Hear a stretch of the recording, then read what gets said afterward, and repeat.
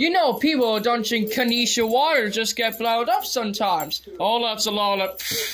See what I mean?